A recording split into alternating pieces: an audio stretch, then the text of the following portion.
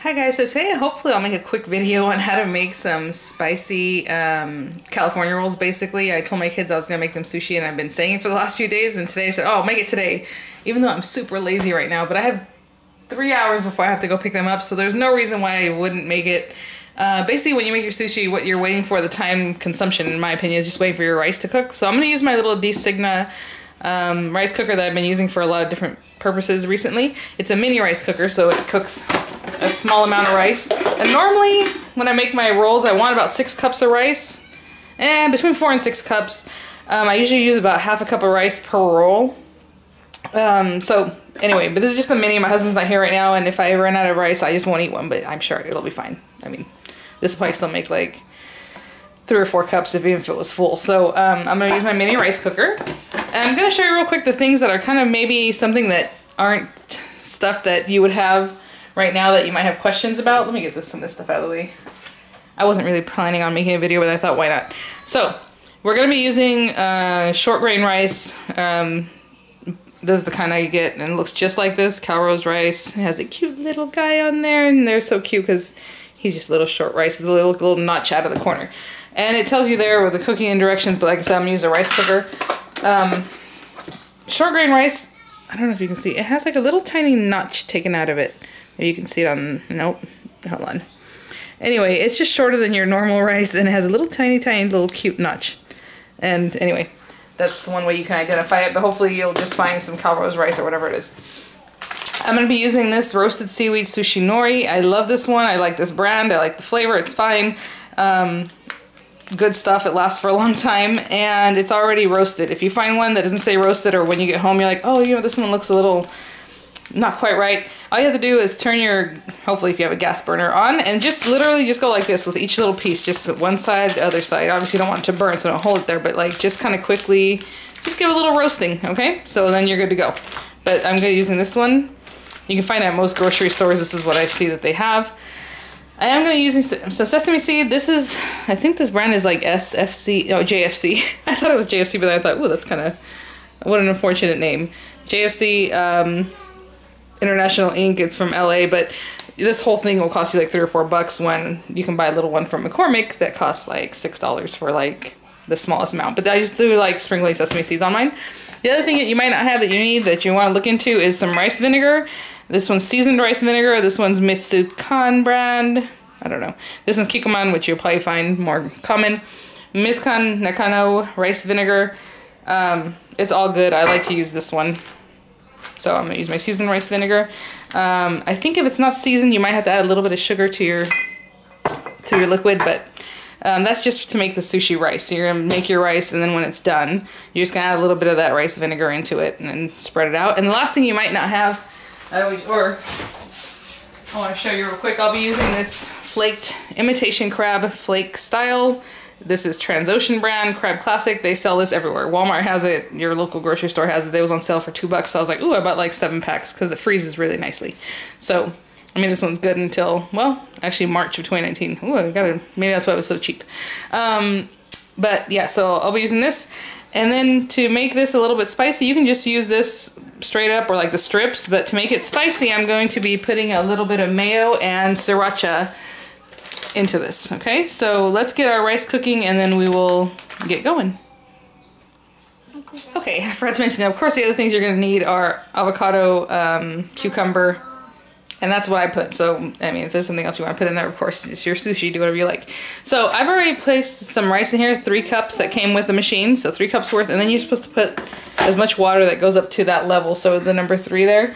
And I just have a little water in this little jug just to make it easy for you guys, but normally I would just take it to my sink and just fill it up to the water hits that little three level and we're not rinsing it out we're not doing any of that because you do want sticky rice in it that's what you want so I'm going to cover this up plug it in and turn it on and after it's done when it goes to the warm function I'm just going to leave it alone for 15 minutes just to make sure the rice is cooked through and um, some of the extra moisture kind of seeps back into the rice instead of just kind of hanging around the top there um, so I will be back Actually, well, I'm going to come back in just a little bit. Well, to you guys it'll be right away. But to uh, cut up some of the vegetables and stuff to get everything ready and going. And, um, oh, you know what? What's going on here? There we go. All right, so I'll be right back. Okay guys, one of the first thing I'll work on is the um, crab just to get it going and let it kind of start melting together as far as the flavor. So I'm just gonna open this up. Uh, I'll probably try to make three or four rolls. Like to me, if there's some left over, it's not a big deal, like whatever. So I'm just gonna pull some of this out. Maybe half the pack, I guess. And you can take this apart with your fingers, obviously if your hands are washed, ready to go. Uh, two forks, whatever it is that you want to do, but you want to tear this stuff up. So I'm just going to do this very lazily right now, guys. I'll probably try and cut it up a little bit more with my forks when we get there, but basically just trying to flake it. It doesn't have to be super tiny. I know some restaurants, like if you go and they'll, it'll be like they ran it through the food processor, which you can do, I guess. Just, you know, kind of do whatever you like. It's still a little bit thick. And all I'm gonna do, I'm just eyeballing this. Like I said, that's like half that pack. I'm gonna take some mayo, just squeeze some of that in there. and That's kind of a lot of mayo, but I do like it creamy. And then sriracha, as much as you would like. I was like, what is that noise? My camera's been doing funny things recently, so and the sriracha, I mean, like, if you want it really spicy, add more. There are also uh, products that are already mixed, mayo and sriracha, and you can use those. And I totally forgot, maybe I'll go buy some, because I do need to go get some ginger anyway, and some wasabi, because I ran out of ginger and wasabi. So, after I make the rolls, I do like to put them in the fridge, just to chill a little bit, because the rice was kind of warm, as we're going to work with it warm. Um, I like to just put them in the fridge so everything comes together. So there's that. I might mix it up a little bit more. Like I said, maybe take it apart a little better with a couple of forks. But just mix that in, and that smells pretty spicy. I think I went a little overboard on my sriracha. All right, and I'm gonna put this in the fridge until we're ready to make our rolls. Next thing I'm gonna do is just cut up some avocado and the cucumber. Okay guys, so this is just a regular cucumber. You can definitely use, oh sorry, uh, English cucumber or hothouse cucumber, whatever they call those fancier ones because they have less seeds. But this is just a regular one, you know, it was like a buck or two for a buck if you're lucky. And I've already just, um, uh, I was gonna say skinned it, but peeled it is probably a better terminology. And oh, when I went in there to my fridge to get this out, I realized I have mushrooms that I need to eat or they're going to go bad soon. So I might just have to saute those and eat those up. Oh, one other thing I forgot to mention is obviously your bamboo mat to make your rolls to roll it up, but we I'll show you that in a minute. So I'm not going to cut up my um, what's stuff called? My um, avocado quite yet. So what I just did right now is just basically take the seeds out. And you can just cut it and you can even use a spoon to just kind of help you pull those out. Uh, I'm just cutting into it because I have a lot of cucumber. I have another one in the fridge. I'm not worried about wasting it. Now, you can do whatever you like. Most time people just cut pieces that are maybe a quarter of an inch thick. You can do that. You can cut them a little bit smaller so like matchstick so it looks cuter when you bite into it. So like if you have this, Say this guy's really, I'm gonna get rid of that. Um, any of that little thin stuff that has like seeds, you just wanna get rid of it. So I'm just trying to make them a little bit thinner. Hopefully you can kind of see, they're kind of small. You can make them smaller, cuter, a little daintier. Normally, um, with California rolls, you only use half a uh, piece of seaweed. Um, because it's kind of dainty and usually when you go to the store or to the restaurant they give you like six little pieces but i'm making these at home and these are going to be a good size. So I'm just going to cut a bunch of pieces of cucumber like this. And my rice is already at the warm function, but like I said, I'm going to leave it alone for about 15 minutes just to make sure it's all cooked through. And um, I think when we come back, we'll be ready to put it all together. Well, we've got to make the rice, the sushi rice. Okay, I'm all done cutting that up. Sorry, let me get the rice. And it is still steaming. You're going to work with it, not hot, but warm, I guess, in a way. So I'm just going to pop all this out. And I'm just gonna guess this is about, I don't know, three cups of rice. Like I said, I use half a cup per roll. Oh man, this rice cooker always makes such nice little rice at the bottom here, but we really don't want that. Well, at least I don't want that in here. I'm gonna try to get as much as I can without the skin coming with it, but that skin is yummy. So let's just do it like that. I'll leave this over here and I'll eat that later. As you see, this rice is nice and hot. And I'm going to take just some of this rice vinegar. You're supposed to put about a quarter of a cup in six cups of rice. So I'm just going to kind of eyeball this and just put a couple, maybe like a tablespoon and a half or so. And I'm gonna mix this through. And as I'm mixing it through, I'm also trying to cool the rice off. So I'll probably be doing this for a couple minutes just to get the rice kind of room temperature warm. Maybe leave it alone like this, like spread it up so it's not just all hot and sitting there. But just keep mixing it and fanning it and getting it a little bit cooler, okay? Oh, sorry about that. Okay, last thing we're gonna do is go ahead and cut up our um, avocado. Sorry, I'm gonna readjust this. And I've already washed it. I'm just gonna dry it off here. I have a spoon and a knife, and all we're gonna do is just, I usually put this in my hand, so hold it in my hand as I do this, but, and hopefully this thing's not too beat up. I hate finding avocados that aren't ripe because they're gonna take forever to ripen, to ripen, but then the ones that are ripe are like ready to go, you know. I'm gonna put this back in the fridge shortly because I don't want it to start browning. And this guy, just to get him out, you can cut it in another quarter section, you know, cut it in half again, but I'm gonna just take a spoon Try not to bruise it up too much. And scoop this baby out. So, pretty easy. And what I'm to do is cut this guy up in a quarter and then just, I don't know if you can see this, but basically in little pieces that are kind of thin, like that. And it'll probably be two or three in each slice, in each sushi. So anyway, maybe I'll cut these other ones as I get to it. Okay, so I'm gonna put those to the side. I'm gonna put all this to the side. I already brought out my crab meat. It's over here, ready to go. And one last thing that I wanna show you what I like to do with my bamboo mat is I try and um, put it, cover it somehow. So I have this big Ikea um, Ziploc, or I guess not Ziploc because it's Ikea brand, but, and I just put it in there and this is what's gonna help me keep it clean and I like that because you can even wash this and keep reusing it. So I reuse it until it gets like really bad. And then I'm like, okay, this thing's probably done its time, you know? So, okay. So there's my mat ready to go. I'm gonna open up my sushi.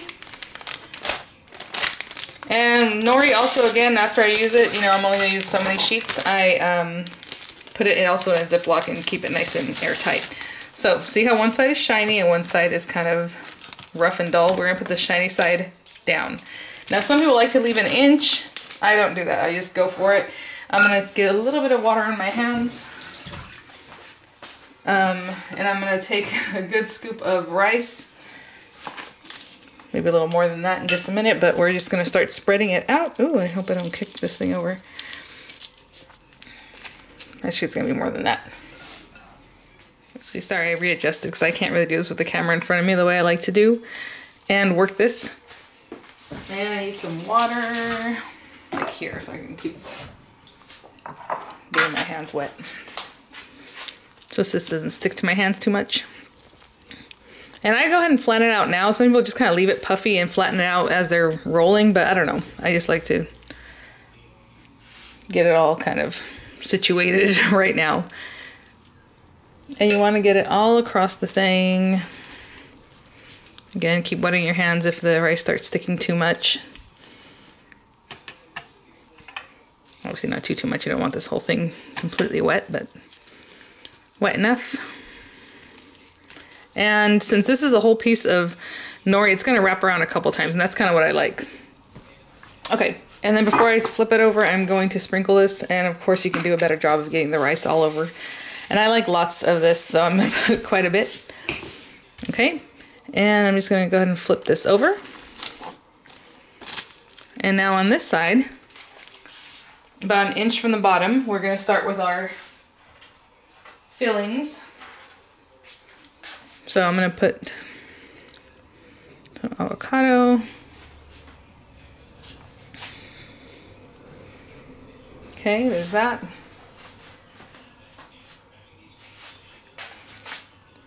Put my well, you know what? Let's put this later. I'm gonna move this just over a little bit. I'm gonna go ahead and put down some of the crab meat.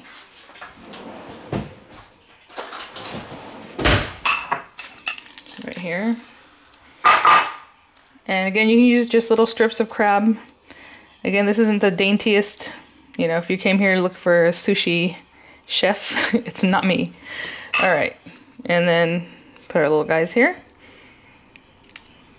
You probably want to get a good amount in each area what you're obviously going to be biting into, so you want to make sure there's some of everything all across and everywhere.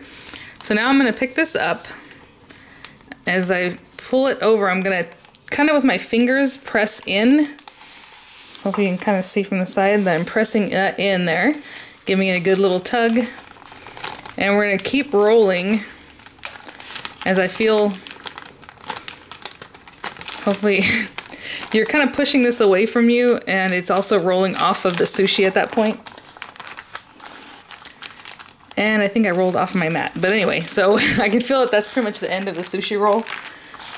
So there we go. And I'm just gonna give it a nice shape, just kind of pressing it so everything's compressed. And I like putting on a big platter when I put it in the fridge and then I cover it with some saran wrap after I'm done with all the rolls. So I should to lift this up. And there's my pretty little roll. And this is the bottom, okay? Obviously, it looks not pretty. So I'm gonna put that over here. And there is our sushi roll. I'm gonna complete all of them. I'm gonna come back and cut them up for you, okay? Okay, I'm gonna do this last one. Um, I had exactly enough rice, enough uh, crab meat, and exactly the right amount of uh, avocado and cucumber, which is crazy for three rolls. Like I didn't waste anything. I didn't. That's crazy. So anyway, um, I'm gonna turn this sideways here. What is that?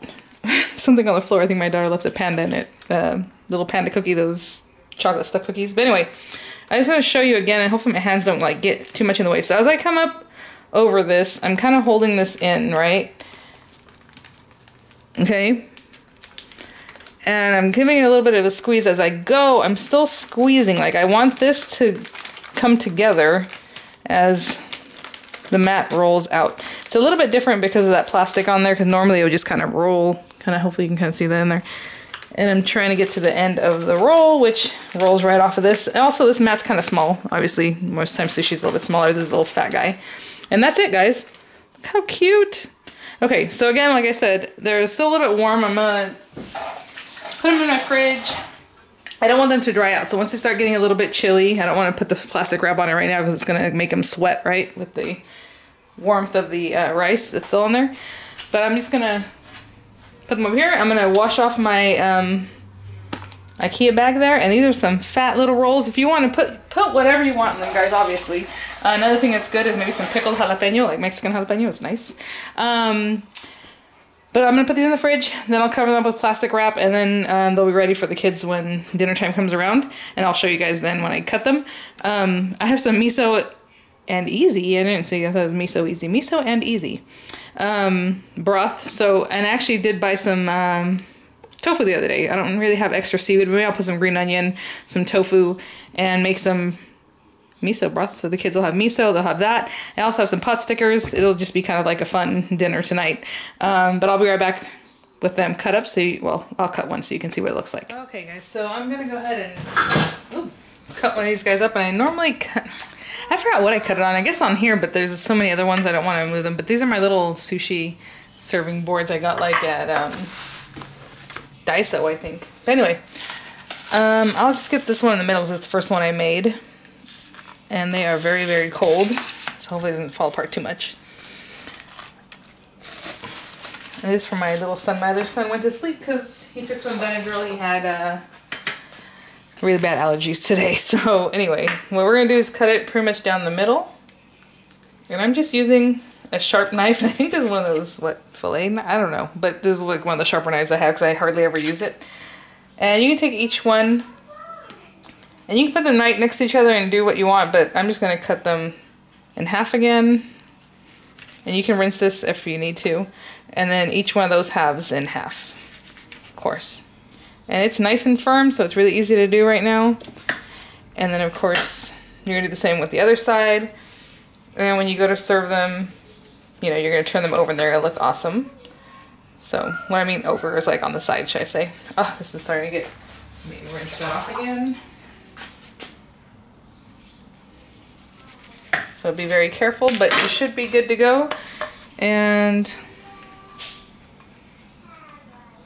a lot of times you put them right next to each other as you're cutting them. You don't have to do what I'm doing, but what I mean by put the two halves next to each other and cut them together, and then they end up looking cute like this. And all I have to do is just grab them and pick them up, but anyway. Hopefully you can see this. uh, plate. And then you can give them a little squeeze of some more sriracha mayo mix. I was gonna buy some today when I went to get the um, wasabi, but they wanted like six dollars for it. And I'm like, what the heck? So I'm not gonna do that. But the kids will have ginger and they'll have you know the other little sweet stuff there to go along with these guys. Um, some wasabi and all that and soy sauce. So there it is. So hopefully you guys enjoyed this. I think it was pretty quick. I don't know. Again, do whatever you like. I think they're tasty, yummy, and ready to go. Thanks for watching. Bye now. Just quickly, I want to tell you to make the miso soup. I'm just putting some green onions, some tofu that's cut up in pieces, and some seaweed. And since I didn't find seaweed, like just big pieces when I went to Albertsons, I just got the seaweed snack. So it has a little bit of salt to it, but let's be real, this is super salty anyway. So I'm just gonna let that boil like the instructions say, and then you're gonna add in a couple tablespoons of this stuff and you got your soup. So just quickly wanted to show you that. So thanks for watching guys, I'll see you at the next one. Bye now.